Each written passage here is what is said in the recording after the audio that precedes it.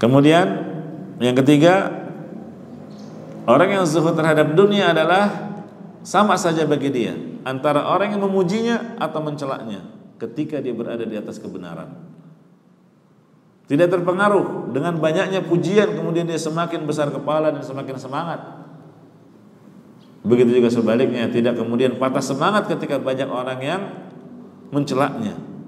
Selama dia yakin berada di atas al-haq, baginya orang yang memuji ataupun mencelaknya sama saja. Ya. Nah, itu di antara makna zuhud terhadap dunia. Jadi hakikat zuhud itu berada di dalam hati. Iya. Hakikat zuhud adalah berada di dalam hati. Jadi dia keluarkan apa yang ada di dalam hatinya berupa kecintaan, ketamakan terhadap dunia. Dia keluarkan itu. Rasa cinta dan tamaknya terhadap dunia dia keluarkan lantas dia penuhi hatinya dengan rasa cinta kepada Allah dan akhirat. Nah, itulah orang yang zuhud. Makanya orang yang zuhud bukan berarti nggak punya harta, meninggalkan dunia secara total dan menjauhinya, tidak. Buktinya Nabi Muhammad SAW adalah teladan bagi orang-orang yang zuhud. Ternyata beliau mempunyai sembilan orang istri.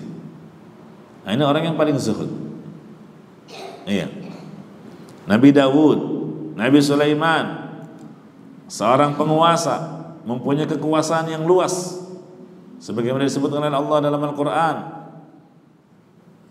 Tapi tidak ada keraguan bahwa dia adalah orang yang paling zuhud. Para sahabat juga mempunyai istri-istri, punya harta kekayaan. Di antara mereka banyak yang kaya raya. Dan semuanya ini tidaklah mengeluarkan mereka dari hakikat zuhud yang sebenarnya. Gitu ya. Nah, jadi kalau mau diberikan ilustrasi, orang yang zuhud itu seperti orang yang ingin masuk ke sebuah istana. Dia ingin ketemu raja di dalam istana itu. Tapi pintunya terhalangi oleh anjing yang menjaga pintu itu. Apa yang harus dia lakukan? Orang yang zuhud dia akan melemparkan sepotong roti. Ya. Walaupun roti ini yang dia sukai. Sedang dia butuhkan. Ya. Roti ini sesuatu yang dia sukai. Tapi dia lemparkan sepotong roti itu sehingga membuat anjing tersebut sibuk dengan roti tadi. Dia makan roti itu. Akhirnya ketika sang anjing tersibukkan dengan roti tadi, dia pun segera masuk ke dalam istana untuk menemui sang raja dan mendapatkan kedekatan darinya. Ayat itu. Jadi anjing di sini diumpamakan sebagai syaitan yang berdiri di depan pintu kerajaan. Ya, anjing di sini diumpamakan sebagai syaitan yang berdiri di depan pintu kerajaan atau di depan pintu surga. Karena itulah kerjaan syaitan ingin memalingkan kita dari surga. Iya. Dia menghalangi manusia untuk masuk ke dalamnya. Padahal pintunya dalam keadaan terbuka. Ya. Pintunya dalam keadaan terbuka. Tinggal kita gimana caranya. Ya untuk bisa masuk pintu yang terbuka tadi.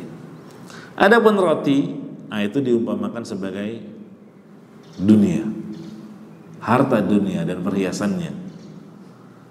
Maka barang siapa meninggalkannya, dia rela membuang dunia itu, maka dia akan memperoleh kedekatan dengan sang raja.